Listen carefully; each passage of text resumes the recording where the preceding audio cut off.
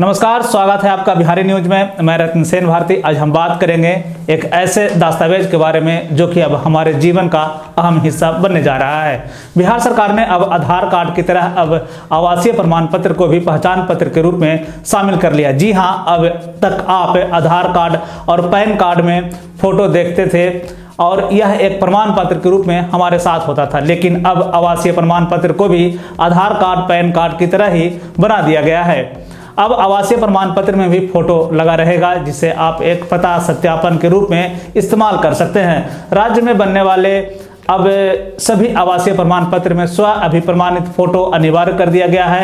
अंचल कार्यालय से जारी होने वाले सभी आवासीय प्रमाण पत्र में आवेदक की तस्वीर अनिवार्य रूप से रहेगी। अब अंचल कार्यालयों से जारी होने वाले सभी आवासीय प्रमाण पत्र में आवेदक की तस्वीर अनिवार्य रूप से रहेगी। इसके लिए एक बड़ा लाभ यह होगा कि आधार पंजीकरण व सत्यापन में आवासीय प्रमाण पत्र को मान्यता दी जाएगी। समान प्रशासन विभाग ने इसे तत्काल प्रभाव से लागू कर दिया गया है। समान प्रशासन विभाग के संयुक्त सचिव जयशंकर प्रसाद ने इस संबंध में सभी प्रमंडलीय आयुक्त, सभी डीएम तथा विभागों को निर्देश जारी करते हुए आरटीपीएस काउंटर पर आवासीय प्रमाण पत्र के लिए आवेदन देते समय ही आवेदक को अपना हस्ताक्षर किया हुआ फ़ोटो आवेदन के ऊपर दाहिनी तरफ़ लगाना होगा। इसी फ़ोटो को स्कैन कर अंचल कार्यालय फ़ोटो युक्त आवासीय प्रमाण पत्र जारी करेगा। इस पूरे प्रकरण को लेकर संयुक्त सचिव ने कहा कि केंद्र सरकार ने आधार पंजीकरण और पता सत्यापन के लिए आवासीय प्रमाण पत्र को भी मान्यता दे दी है। आपको बता दें कि इससे पहले यह नियम सिर्फ़ आर्थिक रूप से कमज़ोर वर्ग के लोगों के लिए ही था, लेकिन अब यह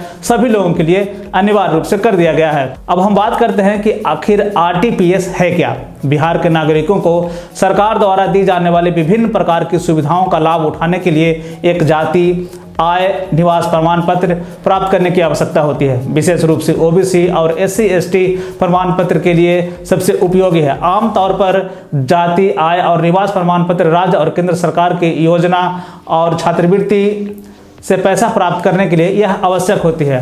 आरटीपीएस सेवा प्लस ऑनलाइन रिपोजिटरी में सभी संलग्न दस्तावेजों का प्रबंधन और रख रखाव करते हैं और उन्हें सभी सेवाओं में उपयोग करते हैं। आखिर आरटीपीएस ऑनलाइन पोर्टल से क्या क्या लाभ है?